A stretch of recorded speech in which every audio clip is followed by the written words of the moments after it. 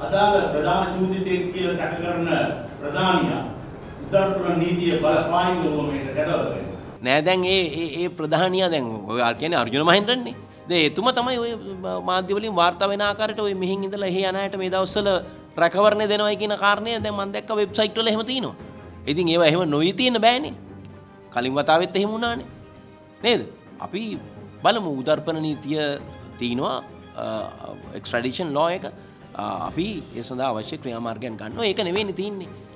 හිටපු අගමැතිතුමාගේ යුතුකම තිබුණේ ඔහු විසින් නිර්දේශ කළා ලංකාවට ගෙනාගත්ත සිංගප්පූරුවේ පුරවැසියෙක් බව දැන දැන ගෙනාපු අය මේකට සම්බන්ධ නම් එයාට යන්න නොදී එක්ක තියාගන්න ගියා නම් ඔහුව කැඳවාගෙන එන්න.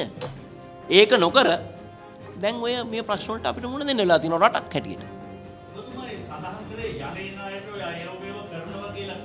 ඒවා මේව නම් කරනවා ඇති. ඔව් මේ අදාළ ඒ වගේ කට්ටියද ඒ වගේ අය තමයි එහෙ ඉන්නේ.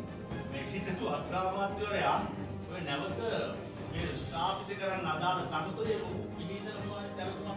නෑනේ අපි දැක්කනේ සිංගප්පූරු සහ ලංකාව අතර නිදහස් වෙළඳ කිවිසුමක් මේ රටේ සියලු විද්වතු අති බහුතරයක් විරුද්ධ වෙද්දී අමාත්‍ය මණ්ඩලයේ පවා අනුමැතියකින් තොරව මේ ගිවිසුම් අත්සන් කළ කරන්න ගිය වැඩේ.